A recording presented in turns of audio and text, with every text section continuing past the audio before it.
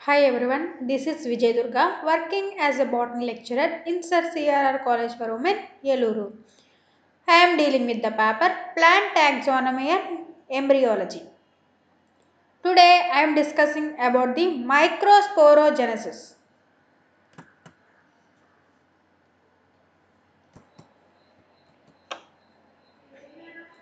మైక్రోస్పోరోజెన్సిస్ microsporogenesis అంటే ఏంటన్నా microspores develop from the sporogenous tissue.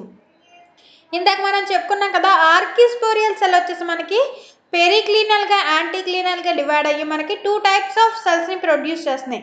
First వచ్చేసి ఏంటి ఒక layer? Primary parietal cells. Second వచ్చేసి స్పోరోజీనస్ లేయర్ని ఫామ్ చేస్తుంది. ఈ స్పోరోజీనస్ లేయర్ ఎలా యాక్ట్ చేస్తుందన్నా? డైరెక్ట్గా మనకి మైక్రోస్పోర్ మదర్ సెల్ కింద యాక్ట్ చేస్తుంది. The primary sporogenous cells directly function as a microspore mother cells or undergo several mitotic divisions to form microspore mother cell మనకి ప్రైమరీ స్పోరోజీనస్ సెల్ అనేది డైరెక్ట్గా మనకి మైక్రోస్పోర్ మదర్స్ మదర్ సెల్ కింద act చేస్తుంది. అలా కాకుండా మళ్ళీ ఏంటి? ఒక్కొక్కసారి డివిజన్స్ మైటోటిక్ డివిజన్స్ జరుపుకునేప్పుడు మనకి మైక్రోస్పోర్ మదర్ సెల్ కింద కూడా యాక్ట్ చేస్తుంది.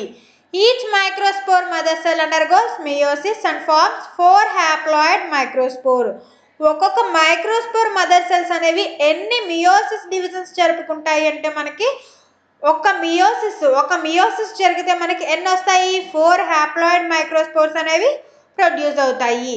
The process of formation of microspores from the sporogenous tissue is known as microsporogenesis ఆ ప్రాసెస్ని ఏమన్నానన్నా formation of microspores from sporogenous టిష్యూని microsporogenesis అంటున్నారు. All the sporogenous cells of an anther are capable of forming microspores అన్ని sporogenous cells యాంథర్ని అంటే అన్ని sporogenous cells యాంథర్లో ఉన్న మనకి అన్ని స్పోరోజీనస్ సెల్స్ అనేవి మైక్రోస్పోర్స్ని ఫామ్ చేస్తాయి. కానీ కొన్ని కండిషన్స్లో ఏం జరుగుతుంది? But usually some of the cells disorganise and provide nutrition to the active spore mother cells కానీ కొన్ని ఏమవుతున్నాయి అంటే మనకు అక్కడ సెల్స్ డిజార్గనైజ్ అవుతున్నాయి. అలా డిజార్గనైజ్ అయ్యి ఏం చేస్తున్నాయి? నరిష్మెంట్ని ప్రొవైడ్ చేస్తున్నాయి మనకి. యాక్టివ్గా ఉన్న మైక్రోస్పోర్ మదర్ సెల్స్కి ఇవి ఏవైతే డీజనరేట్ అయినాయో అవి వాటికి న్యూట్రిషన్ని సప్లై చేస్తున్నాయి. వాటి యొక్క డెవలప్మెంట్ కోసం.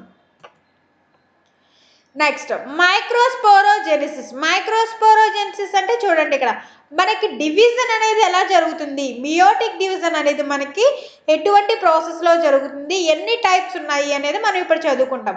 సైటోకైనసిస్ నాన్న cyto means the cytoplasm which is present in the cell ఓకేనా kinesis means division this is called cytokinesis during the meiotic division of microspore mother cell the wall formation may takes place in two ways. Meiotic division జరిగేటప్పుడు మనకి microspore mother సెల్లో wall formation అనేది మనకి two వేస్లో జరుగుతుంది. First వచ్చేసి మనకి successive type నాన్న ఇంకొకటి సైమల్టేనియస్ టైప్ ఉంటుంది. Successive type we are going to study about successive type a cell plate is light between two daughter nuclei after meiosis one మనకి రెండు డాటర్ న్యూక్లియస్కి మధ్యలో ఏమొస్తుందన్న? సెల్ ప్లేట్ అనేది వస్తుంది. ఎప్పుడు ఈ ప్రాసెస్ జరుగుతుందంటే మనకి మియోసిస్ వన్ జరిగిన తర్వాత రెండు డాటర్ న్యూక్లియకి మధ్యలో మనకి ఒక సెల్ ప్లేట్ అనేది ఫామ్ అవుతుంది. ఎందుకు అంటే మనకి అక్కడ సైటోప్లాజంని కానీ న్యూక్లియోప్లాజంని కానీ డివైడ్ చేయడానికి. This wall gradually extends towards the periphery on both sides అదేం చేస్తుందన్నా? గ్రాడ్యువల్గా చివరి వరకు అది ఏం చేస్తుంది? ఎక్స్టెండ్ అవుతూ వస్తుంది రెండు sides dividing the cell into two equal halves రెండు ఈక్వల్ హాల్స్ని డివైడ్ చేసే వరకు అది ఎక్స్టెండ్ అవుతూనే ఉంటుంది. Each cell of the dyad thus formed మనకి ఒక్కొక్క సెల్ అనేది డయాడ్లా ఫామ్ అవుతుంది. డయాడ్ అంటే ఏంటి? రెండు న్యూక్లియస్ అనేది ప్రజెంట్ అయి ఉంటుంది. Now undergoes meiosis two ఇప్పుడు మియోసిస్ టూ అనేది జరుగుతుంది. The wall formation between the two daughter nuclei occurs in the same way as after meiosis 1. మనకి మియోసిస్ వన్లో ఎలా అయితే ఈక్విటోరియల్ ప్లేట్ సెల్ ప్లేట్ అనేది ప్రజెంట్ అయ్యిందో ఎలా అయితే వచ్చిందో మనకి cell plate in between these two nuclei like that only have taking place in meiosis two these results in the formation of isobilateral tetrad ఇది ఎలా ఫామ్ చేస్తుందన్నా? ఇది ఏం కాస్ట్ చేస్తుంది అంటే మనకి ఐసోబయోలాటరల్ టెట్రాడ్ని ఫామ్ చేస్తుంది. This type is more common in monocotyledons మనకు మోస్ట్లీ దేంట్లో చూస్తాం? మోనోకాట్స్లో చూస్తాం. ఎగ్జాంపుల్ వచ్చేసి జియా లిలియంలోను మనకి ఈ కండిషన్ అనేది అబ్జర్వ్ చేస్తాం. Next simultaneous type most common in dicotyledons mostly ఎగ్జ ఎక్కడ అబ్జర్వ్ చేస్తున్నానా డైకోట్లెడనస్లో అబ్జర్వ్ చేస్తాము. There is no wall formation after meiosis one మనకి సక్సెసివ్ టైప్ లాగా ఇక్కడ సైమల్టేనియస్లో వాల్ ఫార్మేషన్ అనేది జరగదు. A binucleate cell of two daughter nuclear undergoes meiotic division that is synchronous ఇక్కడ చూడండి బై న్యూక్లియేట్ సెల్ అన్నాడు. అంటే రెండు న్యూక్లియస్ కలిగి ఉన్న సెల్ అనేది ఎలా ఫామ్ అవుతుంది? Two daughter nuclear undergoes meiotic divisions అది మియోసిస్ జరుపుకుంటుంది. The four daughter lie in the common cytoplasm and wall formation takes place from periphery to centre four daughter nuclear అనేది మనకి సైటోప్లాజంలో కనిపిస్తుంది. మియోసిస్ జరిగిన తర్వాత. అప్పుడేంటి? ఒకటి వచ్చేసి రెండు కింద ఫామ్ అయితే మనకి ఫోర్ వస్తాయి కదా న్యూక్లియర్ ఆ ఫోర్ న్యూక్లియర్కి మధ్యలో మనకి ఒక వాల్ అనేది ఎలా ఫామ్ అవుతుంది అంటే పెరిఫెరీ నుంచి స్టార్ట్ అవుతుంది సెంటర్కి రీచ్ అవుతుంది అని చెప్తున్నారు. Finally the cytoplasm also divided into four haploid microspores ఫైనల్గా దాంట్లో ఉన్న సైటోప్లాజం కూడా డివైడ్ అయ్యి మనకి ఓవరాల్గా ఫోర్ హ్యాప్లాయిడ్ మైక్రోస్పోర్స్ అనేవి మనకి ప్రొడ్యూస్ అవుతున్నాయి. ఎగ్జాంపుల్ వచ్చేసి మ్యాగ్నోలియా ఒకటి నికోటియానా ఒకటి. This is the divisions we can see here this is the successive type చూడండి అన్న మనకి మధ్యలో ఒక ఈక్విటోరియల్ ప్లేట్ అనేది ఫామ్ అయింది. ఇలా న్యూక్లియస్ అనేది డివైడ్ అయింది. మనకి డయాడ్ అనేది ప్రొడ్యూస్ అయింది. ఇది is the dyad condition whether two nucleus are present ఓకేనా ఓవరాల్గా మనకి ఏమైంది? ఇక్కడ న్యూక్లియస్ అనేది డివైడ్ అయ్యింది. మనకి ఫోర్ హ్యాప్లాయిడ్ మైక్రోస్పోర్స్ అనేవి ప్రొడ్యూస్ అయినాయి. ఇక్కడ చూడండి సైమల్టేనియస్ టైప్లో మనకి ఒక ఇలాగ ఈక్విటోరియల్ ప్లేట్ అనేది ఫామ్ అవ్వాలి మనకి. చూడండి రెండు న్యూక్లియస్ అనేవి సెపరేట్ అయినాయి. సెపరేట్ అయిన తర్వాత మళ్ళీ దాని నుంచి మనకి రెండు న్యూక్లియస్ ఫోర్ న్యూక్లియస్. ఇక్కడ మనకి త్రీ కనిపిస్తున్నాయి. కానీ ఓవరాల్ వ్యూ చూస్తే మనకి బ్యాక్ ఒక న్యూక్లియర్ అనేది ఉంటుంది. అలాగా మనకి ఫోర్ న్యూక్లియస్ అనేది వస్తుంది. దీనిలో మనకి వాల్ ఫార్మేషన్ అనేది ఎలా జరుగుతుంది నాన్న? ఇక్కడ చూడండి మనకి. This is the peripheral side. Peripheral side నుంచి మనకి వాల్ ఫార్మేషన్ జరుగుతూ వచ్చి ఇక్కడ సెంటర్లో మీట్ అవుతుంది. ఇక్కడ చూడండి ఇక్కడ మనం అబ్జర్వ్ చేస్తాం ఇంకొక పో ఇంకొక మైక్రోస్పోర్ అనేది ఓకేనా? ఇలాగ మనకి ఫోర్ మైక్రోస్పోర్స్ అనేవి ప్రొడ్యూస్ అవుతాయి.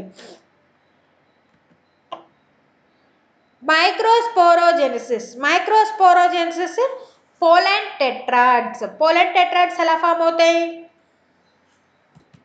పోలెన్ గ్రైన్స్ అనేవి ఎప్పుడైతే అవి అటాచ్ అయి ఉన్నాయో రెండు ఒక రెండు మూడు ఫోర్ అంటే అవి మోర్ దాన్ టూ అరేంజ్ అయి ఉంటే వాటిని మనం పోలెన్ టెట్రాయిడ్స్ అంటాం. The four microspores formed from a microspores mother cell are usually arranged in tetrahedral or isobilateral tetrads. ఇక్కడ చూడండి మనకి ఫోర్ మైక్రోస్పోర్స్ అనేవి ఎలా ఫామ్ అవుతున్నాయి? మైక్రోస్పోర్ మదర్ సెల్స్ నుంచి మనకి ఫామ్ అవుతున్నాయి. అవి యూజువల్గా ఎలా అరేంజ్ అవుతున్నాయి? టెట్రాహెడ్రల్గా అరేంజ్ అవుతున్నాయి. అలాగే ఐసోబయోలేటరల్ టెట్రాయిడ్స్ కూడా అంటున్నారు. టెట్రాహెడ్రల్ మేనర్లో కానీ ఐసోబయోలేటరల్ మేనర్లో కానీ మనకి ఇవి టెట్రాడ్స్ అనేవి అరేంజ్ అవుతున్నాయి. ఈ tetrahedral tetrads formed by simultaneous type tetrahedral type చూసుకుంటే మనం ఎలా చూస్తాం నాన్న? మనకి ఇది సైమల్టేనియస్ డివిజన్స్లో ఎలా అయితే మనకి టెట్రాడ్స్ కనిపిస్తున్నాయో అలా కనిపిస్తుంది. The microspores lie at the four corners microspores ఎలా ఉంటాయి నాన్న?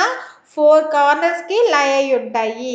The three are visible and the fourth one lies at the back మనకి బయట కిందకి చూసాం కదా ఓన్లీ త్రీయే విజిబుల్ అవుతాయి. ఫోర్త్ వన్ వచ్చేసి బ్యాక్ ఉంటుంది. The tetrads formed by the successive division four microspores arranged in one plane in two types of two each ఇక్కడ చూడండి the tetrads formed by successive division successive డివిజన్లో ఎలా వస్తుంది నాన్న మనకి అక్కడ ఏంటి మనకి ఈక్విటోరియల్ ప్లేట్ ఫామ్ అయ్యి మనకి డివిజన్స్ అనేది జరుగుతుంది. అలాగే మనకి ఫోర్ మైక్రోస్పోర్స్ అనేవి వస్తున్నాయి. అవి ఎలా అరేంజ్ అవుతున్నాయంటే ఒక ప్లేన్లో టూ టైర్స్లో అరేంజ్ అవుతున్నాయి. దాన్నే ఐసోబయోలేటరల్ అంటారు.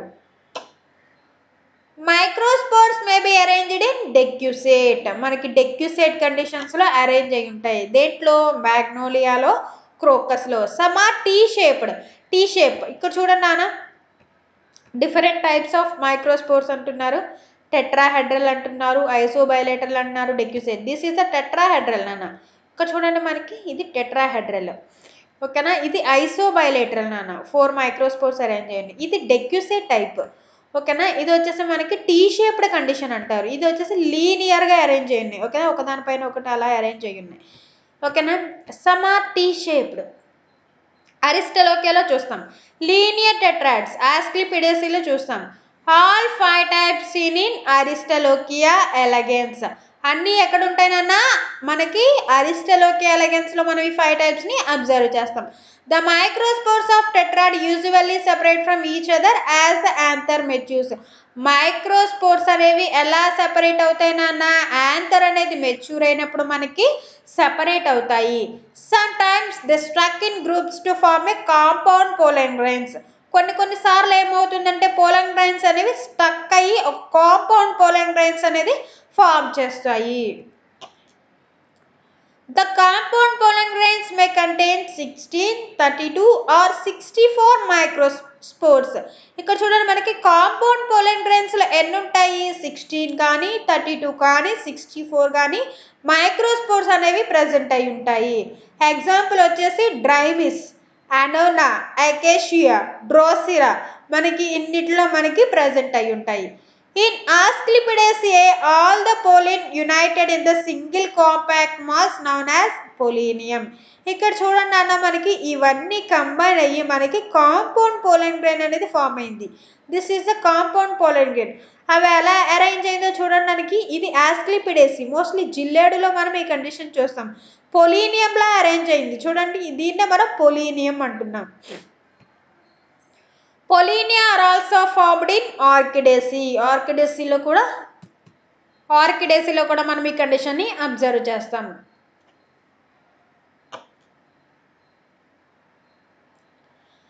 Some comprises loose groups termed as massulae ఓకేనా the pollen grains of massulae are loosely join among themselves by means of tetrad pollen grains అనేవి లూజ్ లూజ్గా అరేంజ్ అయి ఉంటాయి. Next dehiscence of anther anther అనేది mature అయిన తర్వాత ఎలా dehiscence అవుతుంది. అంటే మనకి మెచ్యూర్ అయిన తర్వాత ఆ పోలెన్ని డిస్పర్స్ చేయడానికి యాంథర్ అనేది డెహిసెన్స్ చూపించాలి. At maturity the endothecial cells develop fibrous thickenings మనం ఎండోథీషియం గురించి చదువుకున్నప్పుడు చెప్పుకున్నాం నాన్న ఇక్కడ. ఫైబ్రస్ థిక్నింగ్స్ అనేవి ఉంటాయి మనకి. ఆ ఫైబ్రస్ థిక్నింగ్స్ నుంచే మనకి ఓపెనింగ్ అనేది జరుగుతుంది. ఓకేనా all around the anther locule except along the line of dehiscence ఓకేనా this region characterized by the presence of thin wall cells call stomium ఈ రీజియన్లో మనకి ఏముంటుందన్న థిన్గా ఉంటాయి అనమాట సెల్స్ ఆ ప్లేస్నే మనం స్టోమియం అంటున్నాం.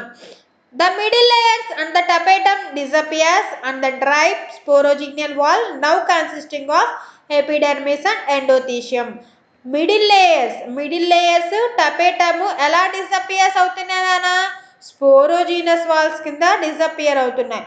Are now consisting of epidermis and endothecium the sterile tissue present in between two pollen sacs dissolve రెండు pollen సాక్స్కి మధ్యలో ఉన్న స్టెరాల్ టిష్యూ అనేది డిజాల్వ్ అయిపోతుంది. So that pollen sacs unite with each other pollen sacs అనేవి unite అవుతాయి. ఓకేనా ఒకదానికొకటి యునైట్ అయి కంబైన్ అవుతాయి. Now the anther wall loses water and the external walls of endothecium shrink inwards which result in the dehiscence of anther. ఇక్కడ చూడండి anther wall వచ్చేసి మనకి వాటర్ని లూజ్ అవుతుంది.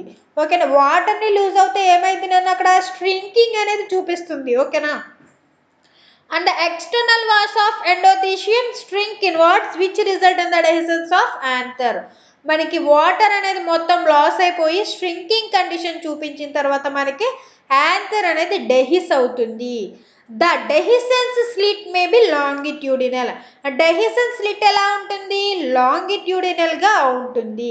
Transverse or the lateral depending upon the position of stomium cells అక్కడ మనకి స్టోమియం cells మీద base చేసుకునే మనకి యాంథర్ యొక్క డెహిసెన్స్ అనేది డిపెండ్ అవుతుంది. In Solanum nigrum Cassia species dehiscence takes place at the top of anther by apical pores Solanum నైగ్రమ్లో కేషియా స్పీషియస్లో dehiscence ఎలా జరుగుతుంది నాన్న? యాంథర్ ఎపికల్ పోర్స్ అనేవి మనకి at the top of anther by apical pores apical pores ద్వారా మనకి anther అనేది dehisce అవుతుంది. The microspore the mother cell of male gametophyte మనకి మెయిల్ గ్యామిటోఫైట్కి ఏంటన్నా microspore that means pollen grain is the mother cell during gametogenesis the nucleus divides into small generative cell and large vegetative cell gametogenesis process జరిగేటప్పుడు ఏం జరుగుతుంది మనకి? Nucleus అనేది divide అయ్యి small generative cell కింద లార్జ్ వెజిటేటివ్ సెల్ కింద మనకి divide అవుతుంది. ఓకేనా? The generative cell divides to form a two male gametes. Generative cell అనేది ఎలా డివైడ్ అవుతుందన్న టూ మెయిల్ గ్యామిట్స్ కింద మనకి డివైడ్ అవుతుంది. The division takes place either inside of the pollen grain or in the pollen tube. ఆ division అనేది మనకి ఎక్కడ జరుగుతుంది అంటే మనకి పోలెన్ గ్రైన్లో అయినా జరగచ్చు లేకపోతే పోలెన్ ట్యూబ్లో అయినా జరగచ్చు. Structure of pollen grain pollen grain యొక్క స్ట్రక్చర్ చూద్దాము. The mature pollen grain is surrounded by well defined wall. Mature pollen grain అనేది దేంతో సరౌండ్ అవుతుంది అంటే ఒక వెల్ డిఫైన్డ్ వాల్తో సరౌండ్ అవుతుంది. The outer exine and inner intine. Outer exine లేయర్తోనూ inner intine లేయర్తోనూ సరౌండ్ అయి ఉంటుంది. The exine first appears as a thin layer exine అనేది ఎలా కనిపిస్తుంది? చాలా థిన్ లేయర్లా కనిపిస్తుంది. And later it becomes thick కొన్ని రోజులకి చాలా థిక్గా అవుతుంది.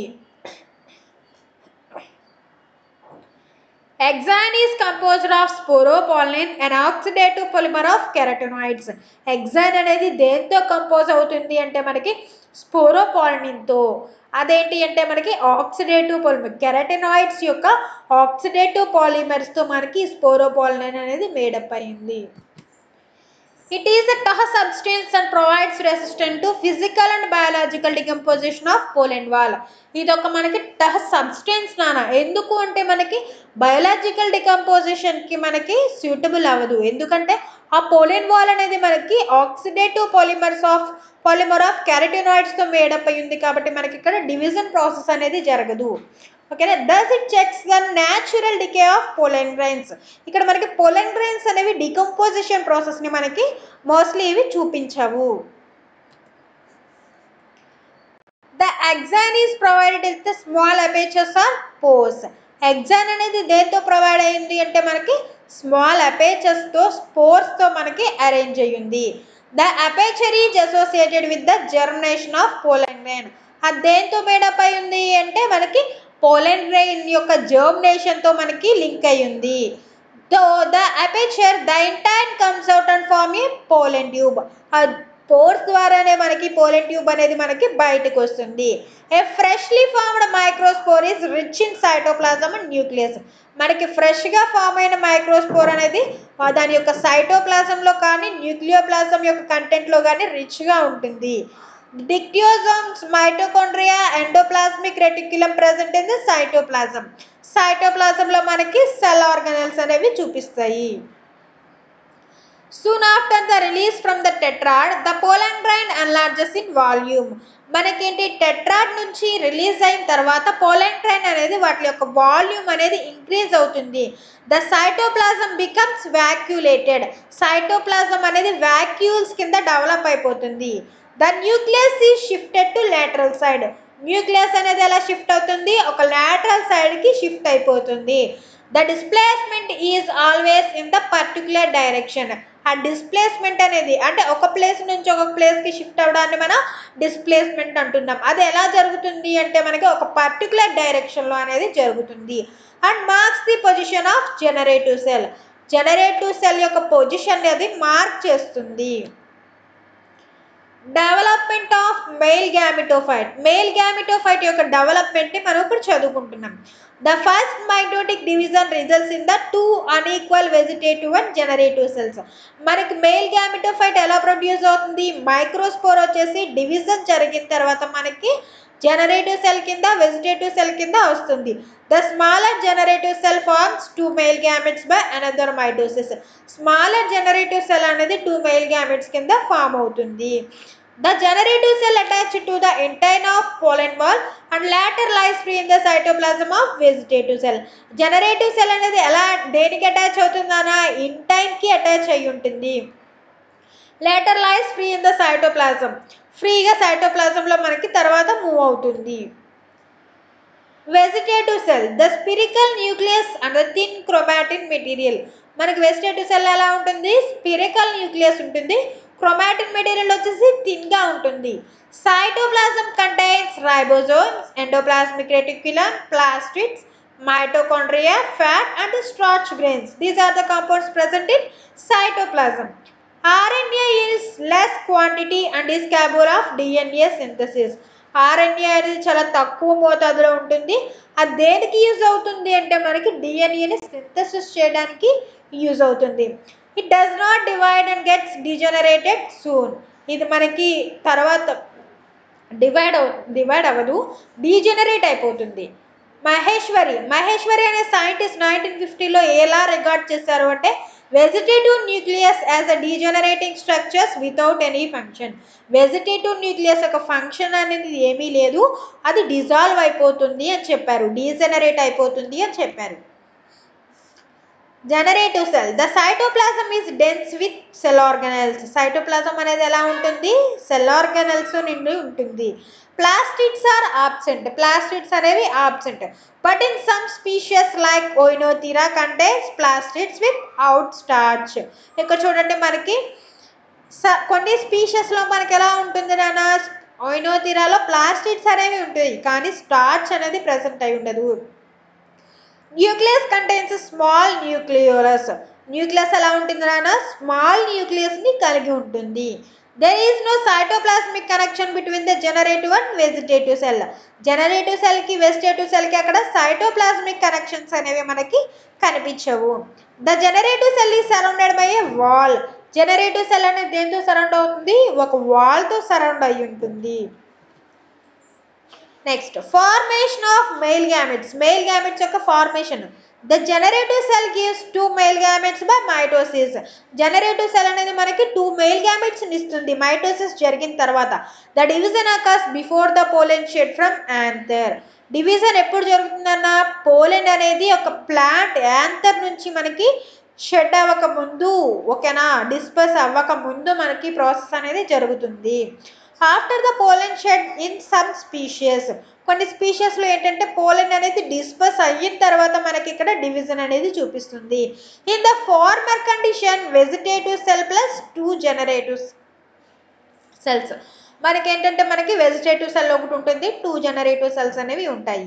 Later having one vegetative and one gamete later మనకి ఏమవుతాయి? ఒక వెజిటేటివ్ సెల్ ఒక గ్యామెట్ అనేది మాత్రమే ఉంటుంది. The division within the grains result result in the two non gametes. అంత డివిజన్ అయిపోయిన తర్వాత మనకి పోలన్ గ్రైన్స్ ఎలా రిజల్ట్ చూపిస్తుంది మనకి? It produces two male gametes each male gamete consisting of large nucleus surrounded by thin sheath of cytoplasm మళ్ళీ ఒక mail gamete అనేది దేంతో కన్సిస్ట్ అవుతుందన్న? లార్జ్ న్యూక్లియస్ అనేది ఉంటుంది థిన్ షెత్ ఆఫ్ సైటోప్లాజం అనేది ఉంటుంది. Externally by a cell membrane ఎక్స్టర్నల్గా cell మెంబరెన్తో ఉంటుంది. Cell wall is absent hence male gametes are naked cell wall అనేది ఆబ్సెంట్గా ఉంటుంది. మెయిల్ గ్యామెట్స్ అనేవి నేకడ్ కండిషన్స్లో ఉంటాయి. The two male cells having a physical contact helps in coordinating the development of both the cells. ఆ మనకి రెండు mail gametes అనేవి ఎలా ఉంటాయి నాన్న? ఫిజికల్ కాంటాక్ట్లో ఉంటాయి. అలా ఉండడం వల్ల వాటి యొక్క డెవలప్మెంట్ అనేది మనకి కోఆర్డినేట్గా ఉంటుంది. It is also important for double fertilization కోఆర్డినేటెడ్గా ఉంటుంది కాబట్టి ఒకటి వచ్చేసి మనకి ఎక్సెల్తో ఫ్యూజ్ అవుతుంది ఒకటి వచ్చేసి మనకి రెండు యాంటీపో అంటే అక్కడ ఉన్న పెన్ ఫార్మేషన్కి మనకి టూ పోలార్ న్యూక్లియస్తో ఫ్యూజ్ అవుతుంది. Pollen development in Cyperaceae. సైపరేసిలో మనకి pollen development. In majority of angiosperms the pollen mother cells abnormal features నాన్న ఇవి. ఓకేనా? In majority of angiosperms, the pollen mother cell divides by a meiotic division to form a four haploid microspores. మేజర్గా మనకి యాంగియోస్పర్మ్స్లో చూసుకుంటే pollen mother cell అనేది ఎలా meiosis జరుగుతుంది? Meiosis జరిపిన తర్వాత మనకి ఫోర్ హ్యాప్లాయిడ్ మైక్రోస్పోర్స్ అనేవి ప్రొడ్యూస్ అవుతున్నాయి. ఓన్లీ వన్ రిమైన్స్ ఫంక్షనల్ ఒకటి మాత్రమే మనకి ఫంక్షనల్గా ఉండిపోతుంది. The rest of the three separated from functional nucleus by a wall మనకి ఆ మూడు అనేవి ఎలా సెపరేట్ అవుతున్నాయి? ఒక వాల్ ఫంక్షనల్ న్యూక్లియస్ అనేది ఎలా సెపరేట్ అవుతుంది అంటే మనకి వాల్ ఫార్మేషన్ ద్వారా మనకి అవి సెపరేట్ అవుతున్నాయి. The walls are formed in between the non functional nucleus wall అనేది ఎలా ఫామ్ అవుతుంది అంటే నాన్ ఫంక్షనల్ న్యూక్లియై మధ్యలో మనకి ఫామ్ అవుతుంది. The functional nuclei divides to form a vegetative and generative cells. Functional nuclei ఎలా ఫామ్ అవుతుంది? వెజిటేటివ్ సెల్ కింద జనరేటివ్ సెల్ కింద మనకి డివైడ్ అవుతుంది. The non functional nuclei eventually degenerate. Non functional nuclei ఏమవుతుంది? డీజనరేట్ అయిపోతుంది. ఇక్కడ చూడండి సైపరేసి ఫ్యామిలీలో చూసుకుంటే ఇక్కడ చూడండి మనకి this is a non functional nuclei ఇక్కడ మనకి వాల్ ఫార్మేషన్ న్యూక్లియస్ మధ్యలో మనకి వాల్ ఫార్మేషన్ అనేది కనిపిస్తుంది. This is the functional one which shows vegetative and generative cells ఓకేనా డీ తర్వాత మనకి గ్రో అయ్యే కొద్దీ మనకి ఇక్కడ ఈ నాన్ ఫంక్షనల్ వచ్చేసి డీజనరేట్ అయిపోతున్నాయి.